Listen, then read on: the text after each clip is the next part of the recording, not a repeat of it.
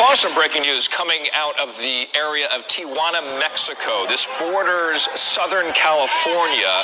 This, as the news has come out about whether or not an asylum deal has been made with Mexico. These pictures you see here from moments ago, Hans Nichols there with this group. And Hans, we were just getting off the air, and then this happened, which you saw and you witnessed, and you, you saw them begin to move.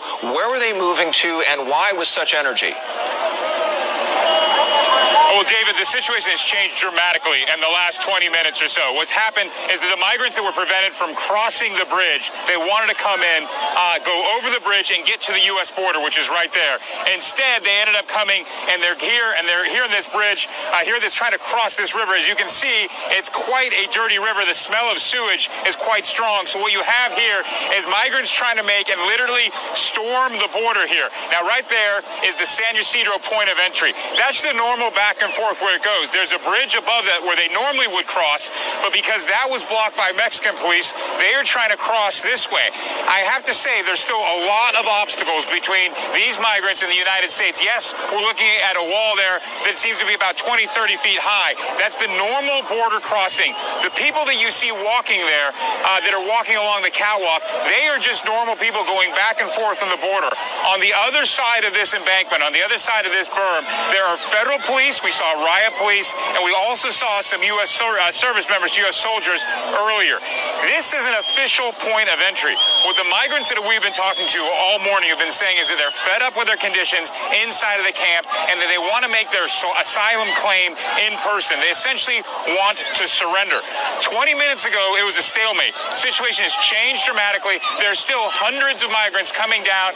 Here we just see them spilling over, and they're trying to get up and above. Now, it's very difficult to do crowd estimates, but I would say easily more than a thousand have crossed. That's the situation it is right now, David. We'll get back to you when we get a little bit more. Just to be clear, we are still on the Mexico side right here. On the other side right there, that is the U.S. border. It's maybe a football field away. You can also see right here a drone. I don't know if we can pick that up.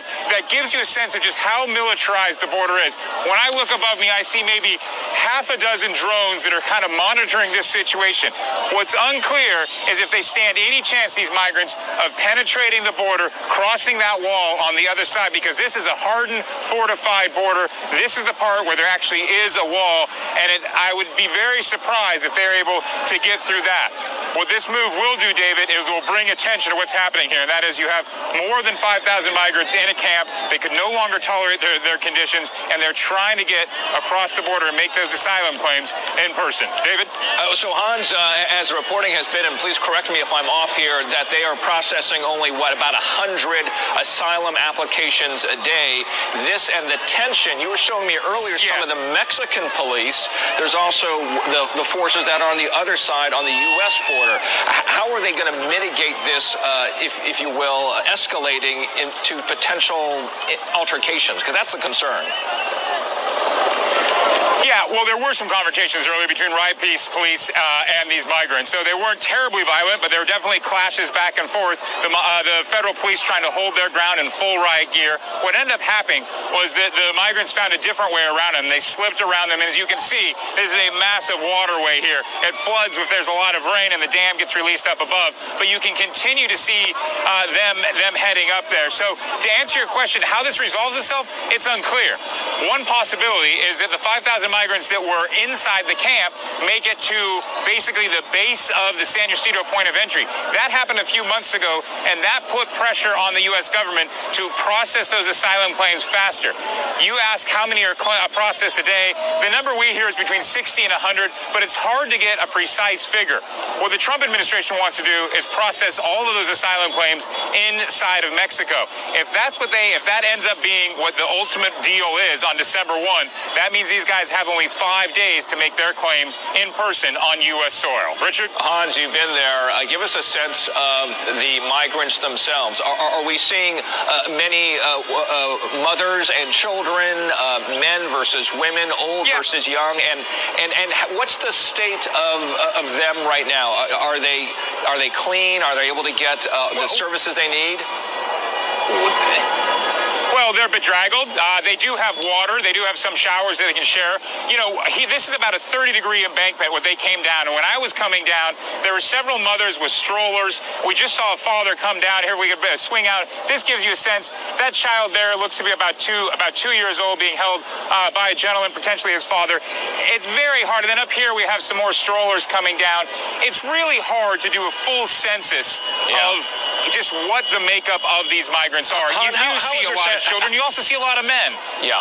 And, and, Hans, what's the sanitation level? Because that's that, that would be a question, right? As they are moving so many hundreds of miles now, they've been out uh, uh, move, moving north for so many weeks.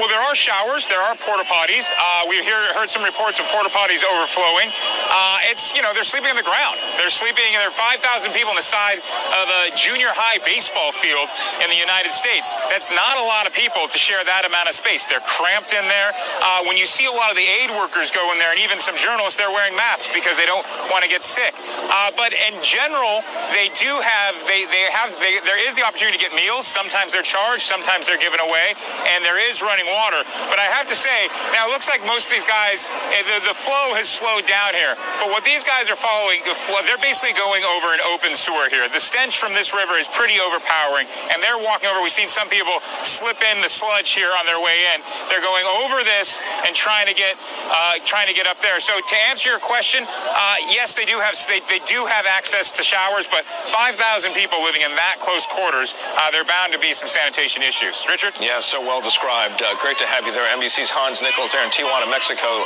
following this breaking story now as we see the movement right behind him of some of the migrants going towards the U.S.-Mexico border. Hey there, I'm Chris Hayes from MSNBC. Thanks for watching MSNBC on YouTube. If you want to keep up to date with the videos we're putting out, you can click subscribe just below me or click over on this list to see lots of other great videos.